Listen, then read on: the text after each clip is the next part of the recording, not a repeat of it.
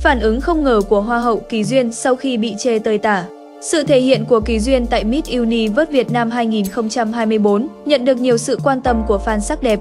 Vừa qua, tập 2 Miss Universe Việt Nam 2024 lên sóng và Kỳ Duyên tiếp tục trở thành tâm điểm bàn tán của dân mạng. Theo đó, Kỳ Duyên lựa chọn ghép cặp với Emily. Cả hai sẽ phải thực hiện kỹ năng kết work và thuyết trình trả lời câu hỏi do ban giám khảo đặt ra trong khoảng thời gian 90 giây. Phần thi của Kỳ Duyên nhận nhiều tranh cãi về kỹ năng trình diễn lẫn thuyết trình. Nhiều người cho rằng phần kết work của Kỳ Duyên không gây ấn tượng. Thất vọng hơn chính là khả năng ăn nói ấp úng của người đẹp quê Nam Định. Trên các diễn đàn sắc đẹp, cái tên Kỳ Duyên được nhắc đến liên tục. Sau hai tập phát sóng, netizen vẫn chưa thấy được sự bứt phá hay cảm thấy ấn tượng từ một gương mặt đã có 10 năm kinh nghiệm. Thậm chí, nhiều dân mạng còn chê phần thi của Kỳ Duyên tơi tả, không thể so với những thí sinh khác. Trước phản hồi từ fan sắc đẹp, Kỳ Duyên không đăng đàn tâm thư như lần trước mà cô chỉ chia sẻ lại hình ảnh trong phần thi của mình. Kèm theo đó, người đẹp sinh năm 1996 chỉ viết dòng trạng thái ngắn gọn, tự tay là một bộ trang phục thiệt ưng quá đi. Tối qua cả nhà thấy màn trình diễn của tôi sao nè. Trong tập 2, hơn 30 người đẹp đã bước vào thử thách tiếp theo về sự độc lập và tự chủ trong chủ đề Independent. Top 3 thí sinh xuất sắc nhất trong tập trước có đặc quyền lựa chọn thí sinh để thi đấu cặp trong thử thách chính ở tập này.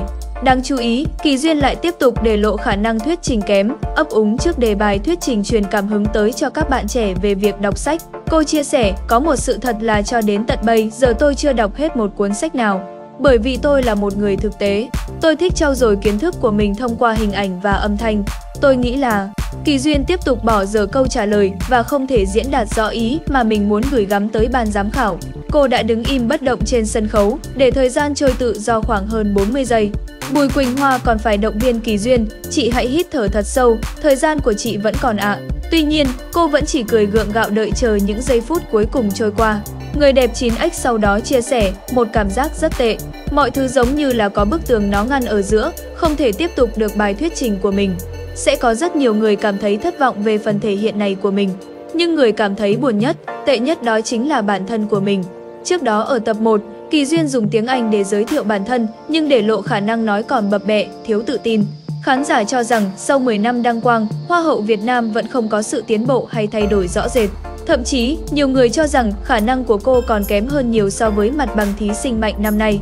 Sau khi tập 1 lên sóng và nhận về nhiều tranh cãi, Kỳ Duyên có chia sẻ trên trang cá nhân, 10 năm rồi Kỳ Duyên mới trở lại với sân chơi sắc đẹp.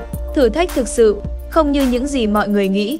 Tâm thế đi thi khác, môi trường và mọi thứ xung quanh giờ cũng khác xưa nhiều lắm, nên thật sự là tôi hơi khớp nhẹ. Cần thời gian thích nghi một môi trường vừa quen mà cũng vừa lạ ấy. Tôi cũng không hoàn hảo, áp lực cũng nhiều lắm, cũng bị tâm lý mọi người kỳ vọng, rồi tự làm khó mình. Sơ khảo không ai bắt nói tiếng Anh mà bình thường có dùng đâu.